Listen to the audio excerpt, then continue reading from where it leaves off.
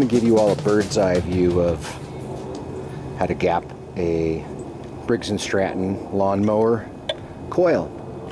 Uh, it's real easy. You can see uh, some of my other videos on how to take the engine shroud off. And once you get to this point, you're going to need a quarter inch socket. Some have a 5 16ths um, and a feeler gauge. And uh, more specifically, you're going to need a number 12 feeler gauge.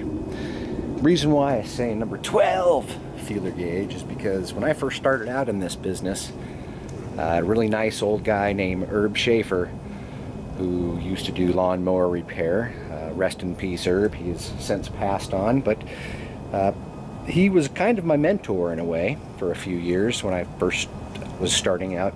And I'll never forget uh, him telling me for the first time uh, what the measurement, what the gap was at the coil. He told me it was 12. So I always remember that. So anyways, and that's what we want the gap to be um, between each terminal and the flywheel. Uh, more specifically, each terminal and the magnets on the flywheel. So just crack it loose.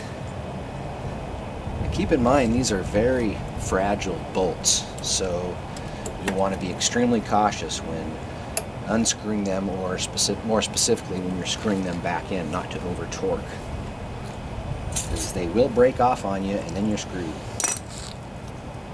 So there's my 12 and if I didn't loosen it enough what I do is I just use a screwdriver here to kind of stick in and pry it pry the gap open and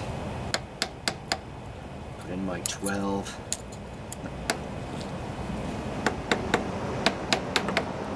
That's where you want to tighten it.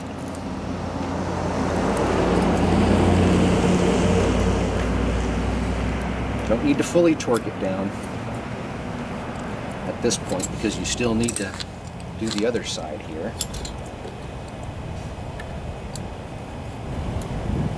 Yeah, I think that's going to be pretty good. Slides in and out. Doesn't get stuck. So we tighten these down can't remember what the torque is on these. Uh, I suppose I'll look that up for you. See, new mechanics don't uh, over torque them and break them off, because I know I've done that when I was starting out.